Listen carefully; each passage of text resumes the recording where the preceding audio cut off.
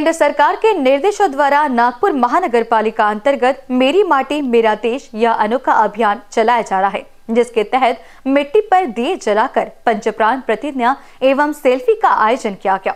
इस समय मनपा आयुक्त अभिजीत चौधरी समेत एनएसएसडीसीएल के मुख्य कार्यकारी अधिकारी पृथ्वीराज बीपी समेत मनपा के अधिकारी मौजूद थे।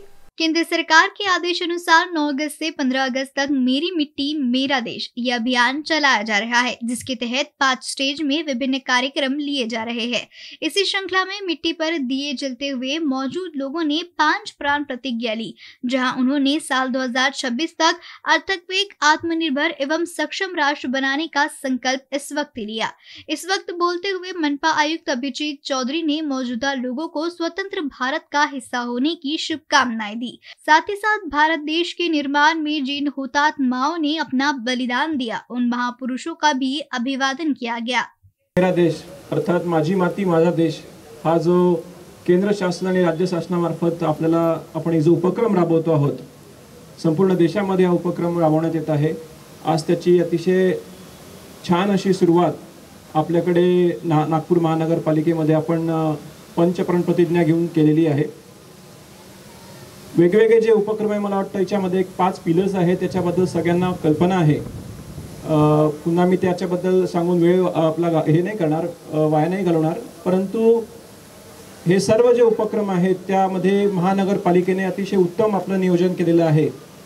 पण त्याचं यश हे किती छान पद्धतीने होतं हे सगळं तुमच्या उत्साहावर तुमच्या एनर्जीवर आणि किती मनापासून तुम्ही याच्यामध्ये पार्टिसिपेट करता त्याच्यावर आहे.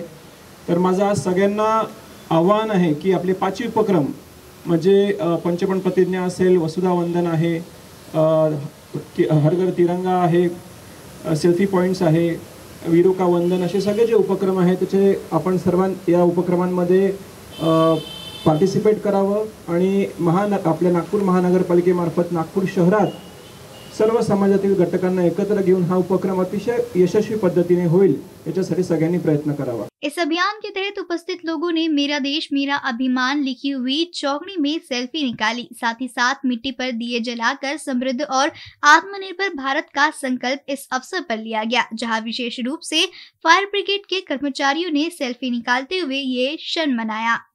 आज़ादी के अमृत महोत्सव के उपलक्ष्य में देश भर में विभिन्न अभियान चलाए जा रहे हैं। उन्हीं में से एक है, ये अनोखा अभियान, जिसके तहत मिट्टी और महापुरुषों के अभियान की भावना देशवासियों में जगाई जाएगी। ये देखना रोचक रहेगा कि इस बार देश अपना राष्ट्रीय त्योहार कैसे मनाता है। इनबीसी न्यूज़ के लिए कैमरा पर्सन राजकुमार मोड़ के साथ मनीष टेम्बरे की रिपोर्ट।